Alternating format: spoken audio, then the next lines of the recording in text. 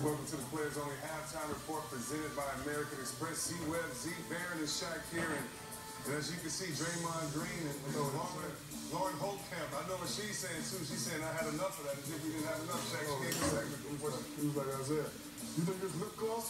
You think it's lip gloss on my teeth? Get my yeah. Get out my Lip gloss.